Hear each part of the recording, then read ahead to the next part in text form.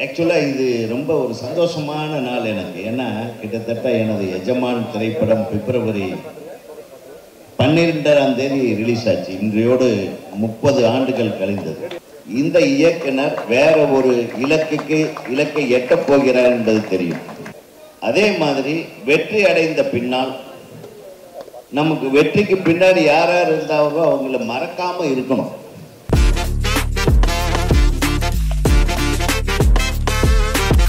கிட்டத்தட்ட ஒரு இருபது இருபத்தஞ்சி வருஷம் இருக்கும்னு நினைக்கிறேன். இந்த மாதிரி நூறாவது நாள் விழா நடந்தது. அதுவும் இவ்வளவு சிறப்பாக நடக்கிற கல்பாத்தி அகோரம் அவர்களுடைய நிறுவனத்தின் லவ் டுடே நூறு நாட்களை கடந்து இன்னும் ஓடிக்கொண்டிருக்கிறது என்று நினைக்கிறேன். ஒரு படத்தை தயாரிக்கிறது எவ்வளவு கஷ்டம்? அதுவும் இந்த படம் வெற்றி அடையுமா வெற்றி அடையாதான்னு ஒரு கதையை கேட்டு ஹீரோ ஹீரோயினை ஃபிக்ஸ் பண்ணி டைரக்டர் கிட்ட கதையை கேட்டு பல நாட்கள் எடுத்து பல நாட்கள் தவம் இருந்து பல முறை படமாக்கப்பட்டு நிறைய பொருட்செலவு செய்து எவ்வளவு டென்ஷன்லேயும் ஒரு படம் வெற்றி அடையும் போது கிடைக்கிற மகிழ்வு அந்த டென்ஷன் எல்லாத்தையுமே மறந்து வச்சது. ஆக்சுவலாக இது ரொம்ப ஒரு சந்தோஷமான நாள் எனக்கு. ஏன்னா கிட்டத்தட்ட எனது எஜமான் திரைப்படம் பிப்ரவரி பன்னிரெண்டாம் தேதி ரிலீஸ் ஆச்சு. இன்றையோடு முப்பது ஆண்டுகள் கழிந்தது. அதுவும் ஒரு முப்பது வருஷம் எஜமான் படத்துக்கு என்ன வரவேற்பு இருந்ததோ அப்போ அதை விட அதிகமாக இப்போ இந்த படத்துக்கு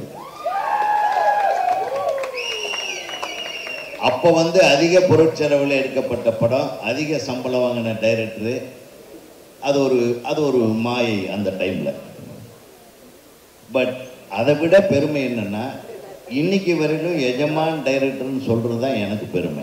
அந்த மாதிரி நம்ம இயக்குனர் எங்கே தம்பி ஓடி போயிட்டார் வாங்க ஐ நீட் யூ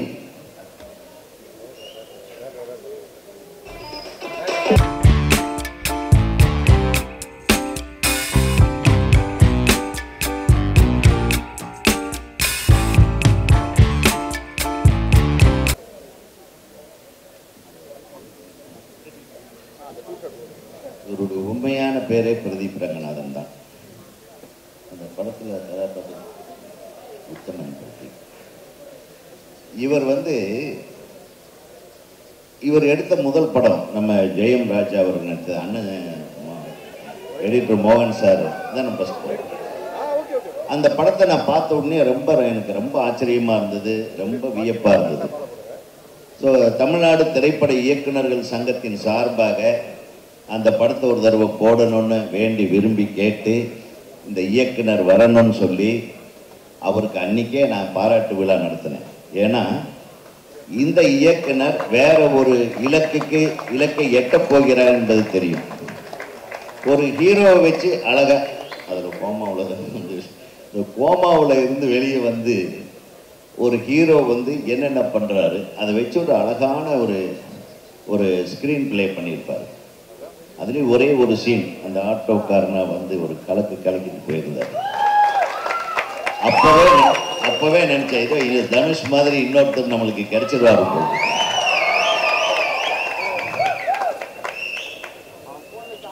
ஸோ நம்மளுடைய குறைகள் தான் நிறை. இவர் உருவத்தில் இவரை பார்த்தா நான் கொஞ்ச நாளாக எக்ஸசைஸ் பண்ணி நானும் கொஞ்சம் இழைச்சிட்டு இருக்கேன். ஏதாவது சான்ஸ் கிடைக்குமான்னு. ஏன்னா இவர் அடுத்த எடுக்க போற படம் தான் இவருடைய உண்மையான வெற்றியை நிரூபிக்கும். இன்றைக்கு உங்களுக்கு கிடைத்திருக்கிற வெற்றி உங்களுடைய விதை இது. உங்களுடைய இந்த குறும்படத்தை பார்த்து அதுக்கு ஒரு அங்கீகாரம் வழங்கிய இரு இருவர் அர்ச்சனா அவர்களையும் ஐஸ்வர்யா அவர்களையும் நான் பாராட்ட கடமைப்பட்டிருக்கிறேன். அவர்கள் இந்த கதையை தேர்வு செய்து நீங்கள் இது செய்தால் சிறப்பாக இருக்கும் என்று முடிவெடுத்த உடனே அதற்கு ஒப்புதல் கொடுத்த அகோரம் மன்னன் சகோதரர் அவர்களுக்கு நான் எனது மனமார்ந்த வாழ்த்துக்களை தெரிவித்துக் கொள்கிறேன். நான் ஜெயிச்சவங்களை மிகப்பெரிய ஜெயிச்ச ஹீரோக்களை மட்டுமே வச்சு படம் எடுக்காம ஜெயிக்க போற பசங்களை வச்சு படம் எடுக்கிறது தான் ஒரு சிறந்த தயாரிப்பாளர் தொடர்ந்து இந்த பணியை நீங்கள் செய்ய வேண்டும். நிறைய டேலண்ட்ஸ் இருக்கு. நிறைய டேலண்ட்ஸ் இருக்கு. அதே மாதிரி வெற்றி அடைந்த பின்னால் நமக்கு வெற்றிக்கு பின்னாடி யார் யார் இருந்தாங்களோ அவங்கள மறக்காம இருக்கணும். நேற்று காலையில் முந்தா நேற்று காலையில் எனக்கு முதல் ஃபோன் ஏவிஎம் சரவணன் சார் பண்ணார். நான்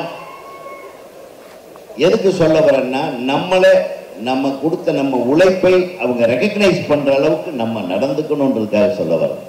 ஆக மொத்தம் உனக்கு நிறைய வெற்றிகள் காத்திருக்கிறது. உன்னுடைய திரைக்கதையை இப்படியே வச்சுக்கோ. நாங்கள் நானும் ராஜா அவர்கள் எல்லாம் திரைப்பட கல்லூரியில் பயின்றவர்கள். பத்ரி அவர்கள் எல்லாம் திரைப்பட கல்லூரியிலே பயின்றவர்கள். இந்த படத்தோட சக்சஸே ஸ்கிரீன் பிளே தான். சப்ப மேட்ரு தான். ஒரு ஒரு ஆப்ஜெக்ட் ஒரு செல்போன் தான் இந்த படமே.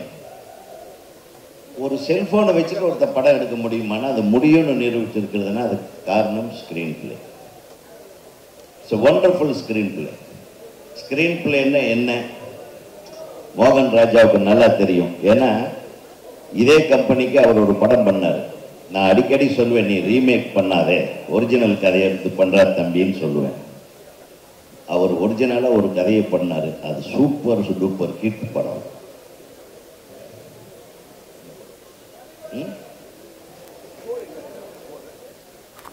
அந்த தனி ஒருவன் பத்தி நிறைய பேசலாம். அதுக்கு நிறைய விஷயங்கள் நடக்க போகுது. தனி ஒருவன் வாழ்க. அந்த தனி ஒருவனாகவே உட்கார்ந்துருக்காரு. பலருக்குள் ஒருவன் என்னுள் ஒருவன் அவங்கள ஒருவன். ஸோ அந்த மாதிரி ஒரு சிறப்பான படத்தை தந்த கல்பாத்தி அகோரம் சகோதரர்களுக்கு எனது மனமார்ந்த வாழ்த்துகள். ஒரு ஸ்கிரீன் பிளேன்றது இப்போ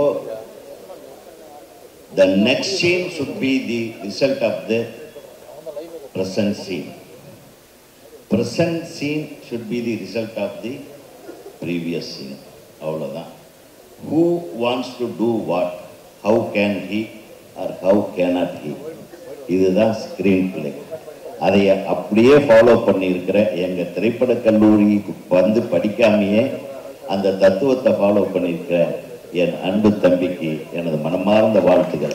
வெற்றிகள் உங்களுக்கு மட்டுமல்ல தொடரட்டும் கல்பாத்தி அகோதம் சகோதரர்களுக்கும் சரி அர்ச்சனாவுக்கும் சரி ஐஸ்வர்யாவுக்கும் சரி இந்த படத்தில் பங்கு பெற்ற அனைத்து திரைப்பட தொழில்நுட்ப கலைஞர்களுக்கும் சரி எனது மனமார்ந்த வாழ்த்துக்களை தெரிவித்துக் கொண்டு நன்றி கூறி விடைபெறுகிறேன். திரைப்பட தமிழ் திரைப்பட இயக்குனர் சங்கத்தின் சார்பாக அனைவருக்கும் எனது வாழ்த்துக்களை தெரிவித்துக் கொள்கிறேன்.